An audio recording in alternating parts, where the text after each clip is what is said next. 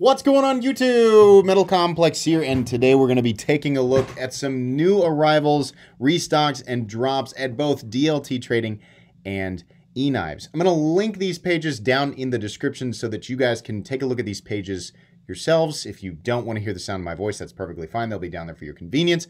But if you'd like to hear me talk about this stuff and uh, give my thoughts on it, then uh, stick around because that's what I'm going to do. Thanks so much to my patrons for supporting me and please make sure to follow me on Instagram at metal underscore complex. Let's start off here with some restocks for DLT trading. If you're watching this on the exact day that I uploaded it, I'm recording this on a Friday afternoon, so most of this stuff should still be here. The Spartan Harsey Blades, uh, I'm sorry, the Spartan Blades Harsey Tactical Trout. Hmm, it's actually a really good looking fixed blade. They also have the Aries. I would venture to guess, oh, I would prefer the FDE Aries. That's pretty cool. Massive Cleric 2 with a green inlay. That's pretty cool. Probably the only single action OTF that's available on the market. That's, I mean, it's going to be, I, I don't think they're quite as powerful as like the Halo 6s, but the Halo 6, I mean, if you've been trying to find a Halo 6, hey, I hear, I've been trying to find one too. I can't find them. The Hydra, this is the knife that bit me a long time ago. It is definitely powerful. I still have a scar in my hand from that thing. Uh, so if you like the look of it and you really want to pay nearly 800 bucks, well, there you go. We have, oh, purple live wires now. Did you know that those were a thing? Purple live wires in Magna Cut. There you go. The Marauder H, which in my opinion is probably outside of the 187, the very best buy for a Medford knife. And these are in Magna Cut. Do we have an indication of how Mr. Medford is having these heat treated now? Because I remember, no, we do not. Well, I remember them not being um, up to the standards of the majority of the knife community. So I don't know where they're at now, but outside of that, uh, I do like the Marauder profile. I think the S45VN ones would probably be a better bet. These are all lefties, right? But it's almost certain if you check out DLT Trading, they have probably the biggest supply, supply of Medford knives on the internet. So you might look around. Uh, small Sebenza left-handed. We have small Sebenza right-handed in a bunch of different configurations. Let's move on to the next page. This is actually different than just a couple of hours ago, so they must have recently... Holy crap. if you're looking for a small Sebenza, they've got them. Um, four, seven Fords Jackal 80 CRV2 is I don't think what is 80 CRV2? I'm, am I mistaken in thinking that's a low alloy, kind of a basic steel? Oh, no surprise here. The McNees PM Mach 2 three and a half inch Gen 2s are completely gone. I think those dropped this morning at 10 a.m. I made people aware of those um, here recently. Uh, I think just yesterday. Okay, the Riot PLXT.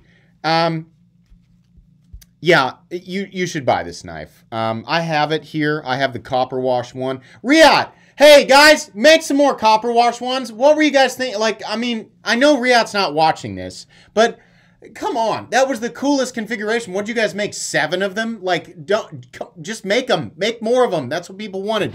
If you missed out on the copper wash ones, don't worry. They're all cool. This is such a cool knife. The lock is literally right here. It's the pivot, right? So remember when CRKT did the thing with the you push the pivot and go.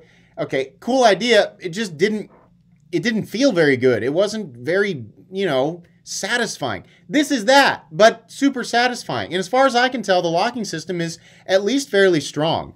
It also has a secondary lock right here, and you might be thinking, what's the point of that? Well, when you choke up on the knife, if you're right-handed, your index finger lands right on top of that, that pivot, right? So if you're squeezing it hard enough, you could disengage it unless you engage that secondary lock. That's pretty cool. That's well thought out. The knife is actually super well suited for EDC. Now, we are looking at budget materials here, but it's like I always say, this is a perfect example of why you can't judge things by the materials alone, because this has unmistakably Riot's build quality. It is so much better than what you would normally find in the 50 to $75 territory, which is prime budget zone for the knife world. This is so much better. It's also right and left-handed, so you can mount that clip either way, right? We have Nitro V and G10 or Nitro V and micarta.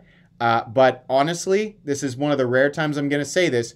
Even with budget materials, I think it's pretty well deserving of the $117 price tag. This absolutely feels like something in Kizer's Vanguard series where they use, uh, you know, like 154 cm. The build quality is very, very good. And this is a super satisfying knife. So while it is a little bit higher than what some people might want to see, oh, look at that here, right here. Let me just help you make a choice here real quick. The best looking one that they've got left is either this guy here. Look at that. Holy moly, that is a sweet looking blade. Or if you don't like the black blades, which that's perfectly fine, look at this boy right here. That's a boy ready to go to work, right? Or a girl, whatever, who, whatever, whatever you like to, whatever you think your knives are in your head, that's fine. I don't really care. This is so cool. God, that looks cool. I love this. Such a cool knife. Pick one up. You won't regret it. Riot, I know you've got the bigger one coming with the flipper tab, and it's fine. I've got it here. It's okay. The flipper tab doesn't work super well with what's acting as the detent on this knife. Make a bigger one with the thumb studs, and you'll make everybody happy. That's that's that's what you guys should do. Again, I'm probably talking to nobody. Oh my gosh, they got so many. Just pick the one you like. These are oh my gosh, these are so good. They're so good. I promise you guys, you'll like them. They're great. Okay. Moving on here.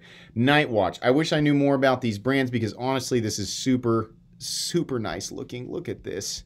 Look at that. That's so beautiful. What this is spalting. Is that spalting? I think is what we call that. I'm not a fixed blade guy, but that looks so good. Do we have the, oh, the taper tang and we got the different colored liners there. That's a sweet looking guy.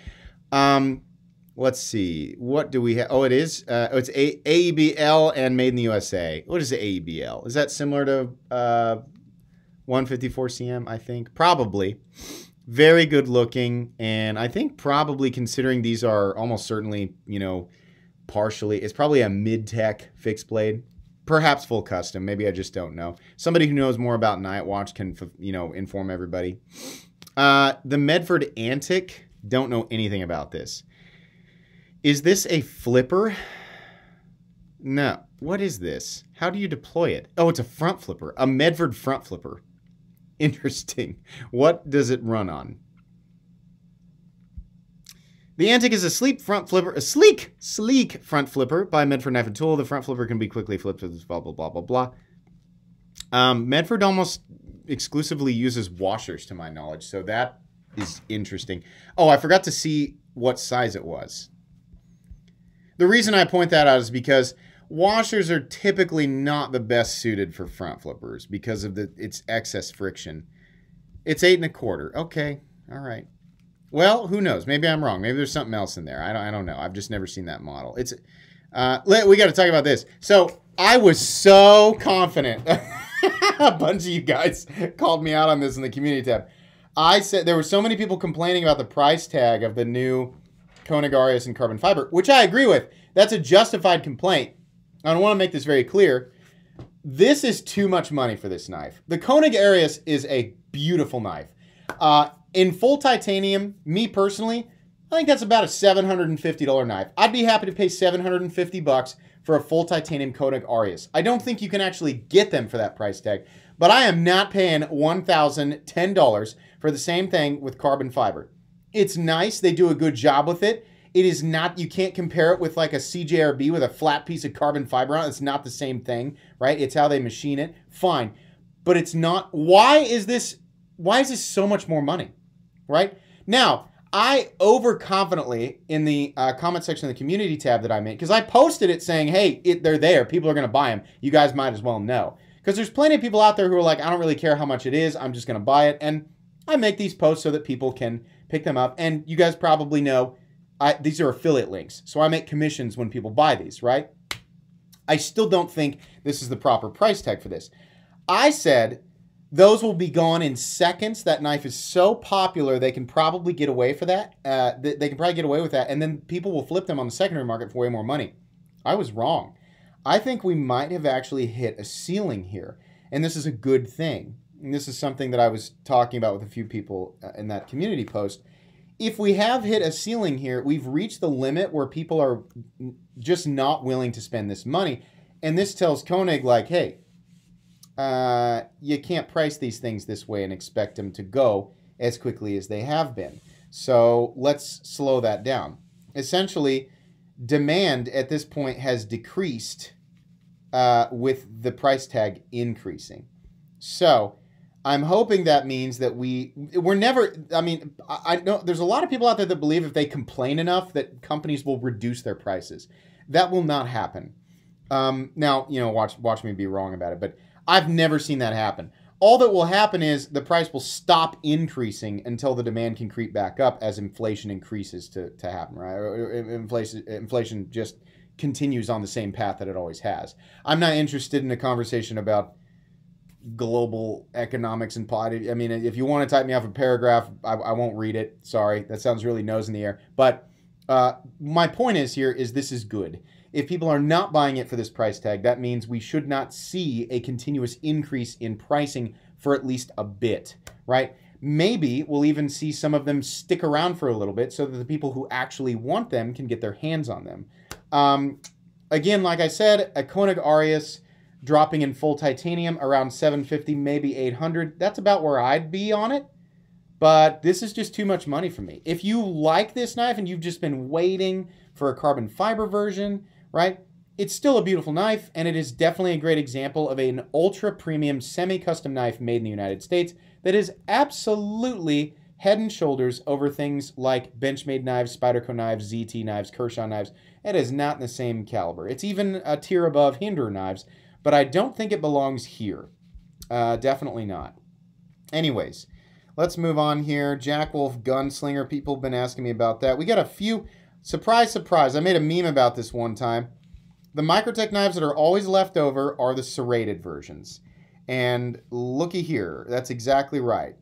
Uh, if you prefer serrations, that's perfectly fine, but the demand is certainly much higher for the plain edge versions of knives, regardless of the fact that you can cut twine at a much more efficient rate with serrated edges. That's great, fantastic. I'll take a plain edge. But if you're looking for a serrated, um, you know, Microtech uh, uh, MSI or the new Matrix, which I'm actually interested in getting, except I want um, the uh, the straight edge version, um, or you want the amphibian, they're sitting here. So, and honestly, I mean, the Matrix eh, is that? Oh, it's titanium. Okay. Um, out. I think the pricing is really good on all of these. They have have they bumped up a bit with these? These are the injection mold plastic. Listen, if you want a reason to justify the injection mold plastic versions, remember that Original Goat is currently making aluminum and eventually titanium aftermarket scales for these, which is a great reason to pick one of these up and then swap the scales out. Because at that I have an aluminum MSI here and I have the scales from Original Goat which is also linked in the description Original Goat scales. It is a dream come true. I mean an actual dream come true. It is such an awesome knife. So there you go. Maybe eventually we'll see the same for the amphibian.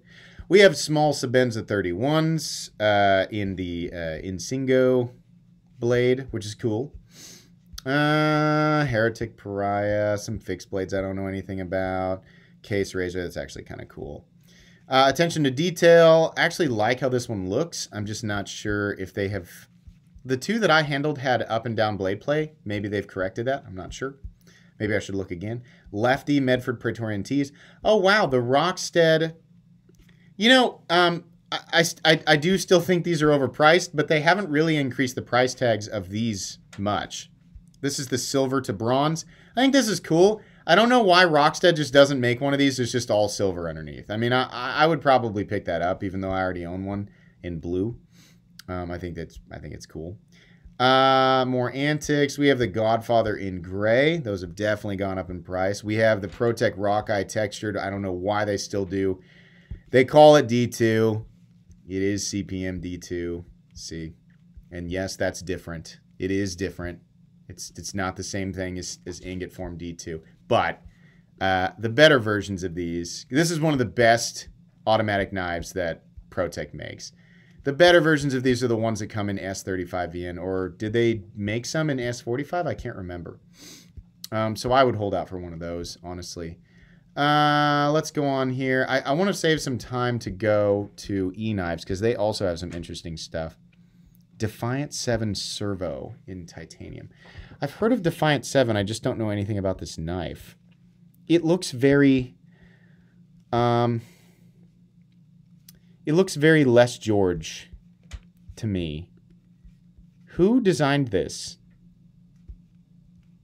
Okay. am I am I alone? I mean here, right here especially. That's it really looks like a VECP. But I mean obviously the profile's a little different. Okay, it's fine, you know. That's it looks it's 204p. That's interesting. We don't see 204p often. If you don't know what 204p is, that's Carpenter's version of M390 or 20CV and is exactly as good. Uh, uh, the vehement mongrels are still here. I think these have taken. No, you know what? You can still get these for 500. So that's kind of cool. Uh, some of them, anyway. Lefty Slim Middies. Phobos Tier 1. I don't know anything about these. They look cool. Still, for some reason, tempted by a hatchet. I have no use for a hatchet, but I mean, I don't have technically I don't have the proper use for the 250 other bladed objects I have down here. SOCOM Bravo Mini, unsurprising, it's left over in serrations. Uh, people who love serrations, man, you guys just like have everything at your fingertips. like anything that comes serrated, there's like always one left over somewhere. You can pretty much always get it. Lefty Praetorian Tees, uh, there must not be a left hand, a bunch of left-handed people who are looking for Medford. Small Sebenza unique graphics are very plentiful, always have been on DLT trading. Let's go on here, another page. I'm just looking for one more semi-unique thing. We still have XOMs with the more interesting uh, red and black Damascus G10. The Luft Concepts RWB and S90V I've heard is a good knife.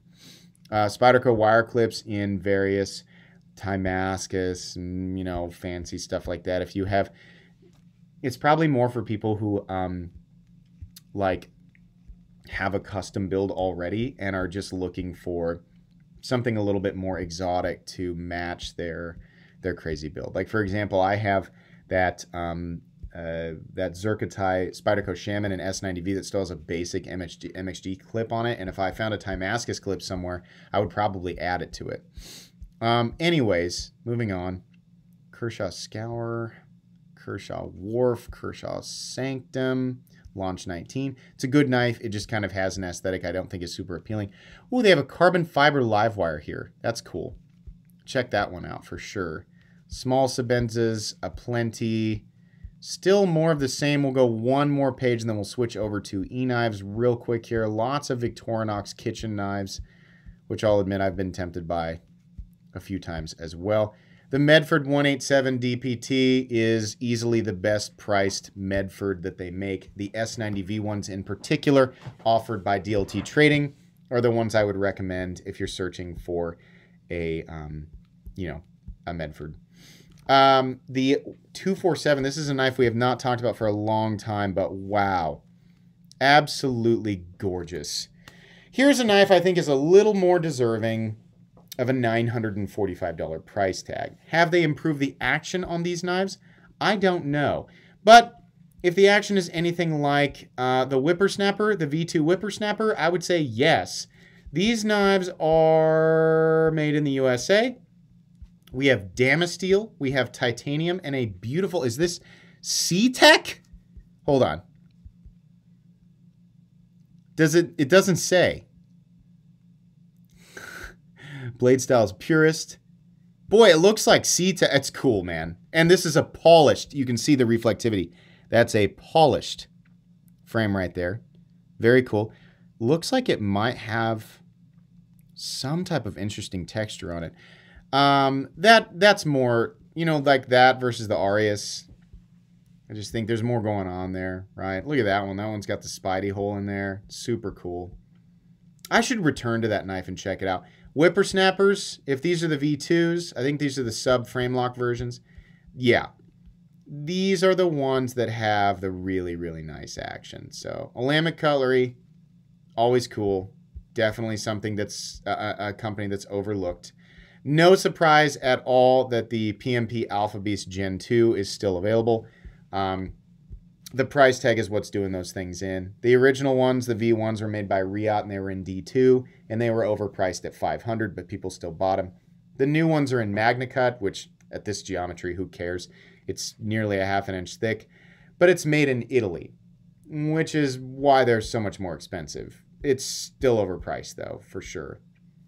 All right. Carabiners and American service versions of the Victorinox class. Oh no, no, these are the American. These are actually USA. They just look like the Victorinox Classic.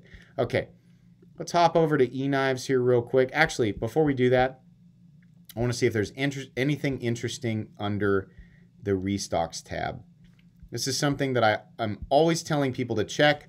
I find gems here all the time. Combat Troodon, restocked probably very recently. Gen 3 Combat Troodon sitting right there.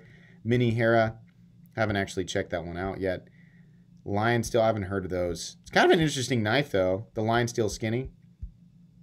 Another Combat Troodon Gen 3 double edge, just restocked right there. That William Henry button lock thing. Or wait, no, that's just a thumb stud opener. There's a ProTech Malibu Wharncliffe Blackout sitting right there for 240 bucks. The Military 2 in S110V. Oh, there's a um, Microtech uh, Stitch in Fluted G10 sitting there. Just, just sitting there.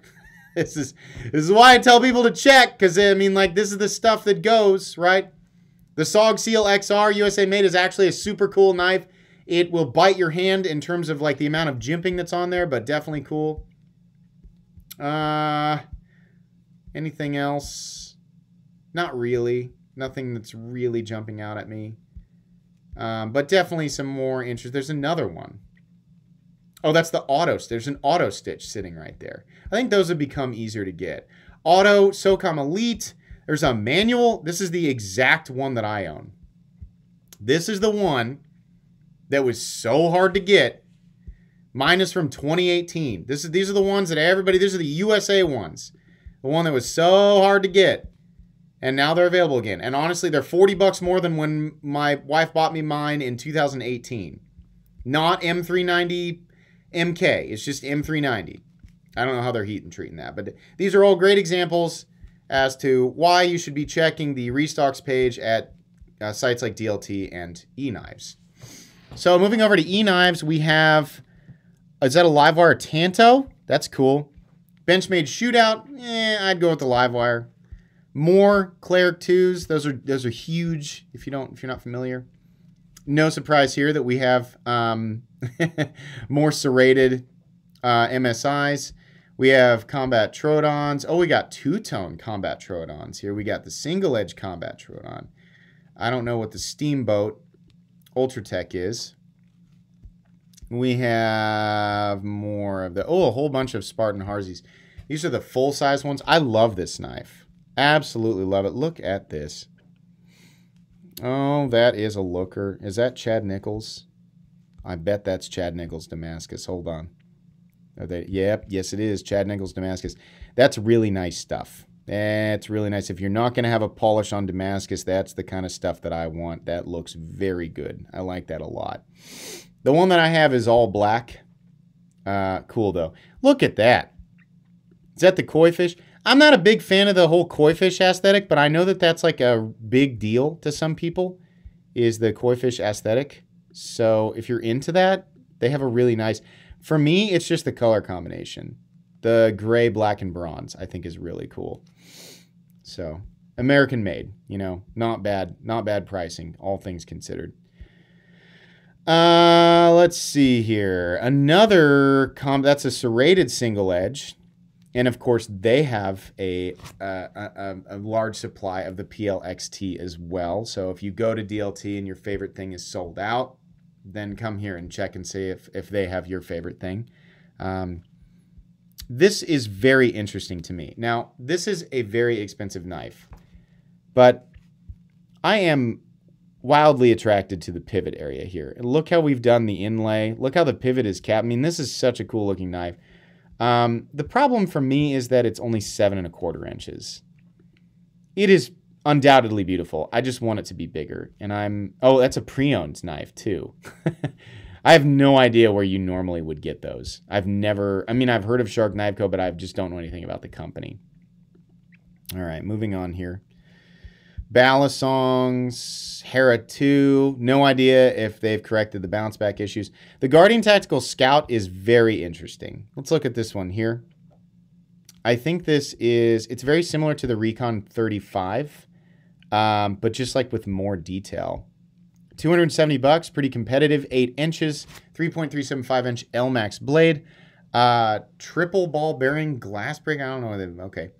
But really cool looking. We still have the Halloween font, but okay. Honestly, a nice looking OTF. I've always enjoyed Guardian Tactical. They're the smoothest operating OTFs on the market outside of Hawk. So there you go. Bunch of choices there. Bunch of choices. Oh, that's the GTX. I'm sorry. The GTX is smaller. Make sure that you look. That one's 2.5 inches. So if you're looking for the smaller one, it's the GTX. And they have a whole bunch of GTXs. Boy, it's been a while since I've looked all the way through e-knives. Hmm. Next page here. Let's take a look. Let's take a look. They got the Shirogorov Quantum Ursus. That is the best starter Shiro because of the price tag. This is how this is the best way to get into Shirogorov is with the Quantum Ursus. I want to say this is Chromax. Yes. Same profile as the Quantum, but the Quantum 2 is $1200. So it's it's like 45% off. and 80% the experience. If you're trying to get into Shirogorov, but you're intimidated by the 1,000 plus models, the Quantum Ursus is the way to go. Beautiful knife.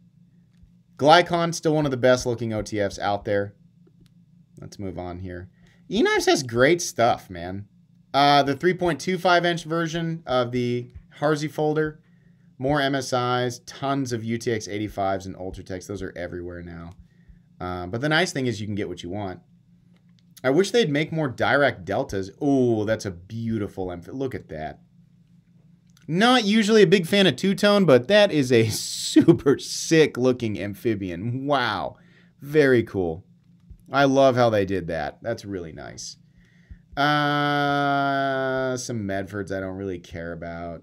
Mm, another amphibian, another Hera 2. It says 2024. Oh yeah, it's because they released the Hera. I guess they released it in 2024. That's a really big OTF, by the way. The is this an attention to detail bar lock? Yeah. So I would be interested in checking out their bar lock just to see if it locks up more solid than their frame lock versions. There's a plain Quantum Ursus for 700 in black G10. Oh, I'm sorry, Blackwood inlay. So another option there. Uh, that Kershaw Scour is kind of interesting, not going to lie. Kershaw Layup with the Duralock, that's also very interesting. At, oh, that's really cool. Hmm. Yeah, I like that one. What do we got here? D2. Okay, not bad. I mean, for 50 bucks. What do we got going on here? Is this all covered in? No. Why is it blue right there? Hmm. Okay. Well, I do like the layup. I don't know anything about it. Maybe Kershaw will send me one. The S30V Blur has finally jumped over 100 bucks. I don't know when that happened, but that was inevitable. That's cool. That's nasty. Oh, man. Oh, God, that is so cool. I'm really tempted by that. Look at that milling. Oh boy, I'll tell you what. That looks pretty cool. 950 bones. Those are well, it doesn't say. I mean, I've always assumed attention to details USA. I'm almost certain that, that it is. What do we got going on here with the inside of the liners? Are they like heated? Oh, I bet that's the is that the steel housing for the axis or the crossbar lock? That's the that's the coolest one that I've seen. Almost a nightmare, uh, like a a uh, Strider style mi- nightmare grind. Here's the plain Quantum Ursus. Just plain Jane. If you don't want an inlay, that one's there. Um, the Hawk Automatic Karambit. I haven't seen one of those for a while. Anything else? Kershaw Iridium uh, in KVT bearings. That, that might be interesting to some people. Kershaw Livewire in all black, Livewire in carbon fiber, and it's a different carbon fiber version. Do we have the S35V in here? Nope, that one's still D2. It's fine. If you don't care about D2, I would hold out for the S35VN ones. Or you can pick up one in bronze and Damascus if you'd like. Hey, here's some plain edge matrices in titanium and in carbon fiber. So there you go. And do we have anything in the restocks page? Let's look real quick. Oh boy, there it is. I was going to say, it's usually on the front page. This is a genius thing for them to have added because it really works out uh, sometimes for people hunting little treasures. Another SOCOM Elite manual. Haven't seen the Akuchi for a long time. I'll go to page two. Usually, e-knives restocks are worth looking at for the first couple of pages. They keep their restocks pretty updated. Is that a Dirac Delta Shadow? Yeah. There's a good example of a treasure find. Um, I mean, stuff you don't normally see from Microtech would be a. This is the bigger one. I own the Dirac Delta. That's my favorite. This is the knife that makes the Benchmade Infidel look silly. Uh, head and shoulders above the, the Benchmade Infidel. Same size, easier to carry, better firing power, better steel, better look overall. Just a cool knife. That's going to be pretty much it today, guys. Like I said, all these pages will be linked in the description for you guys to go through and check out everything for yourselves. Uh, thanks so much for watching. If you enjoyed today's video, leave a like. If you'd like to check out my other content, I do, of course, have lots of videos of knives that are either expensive or inexpensive that I do or don't like, so check those out. And if you enjoy all my content, go ahead and click on that Metal Complex logo right there and subscribe because there's definitely more coming. Thanks again for watching, everybody, and have a great day.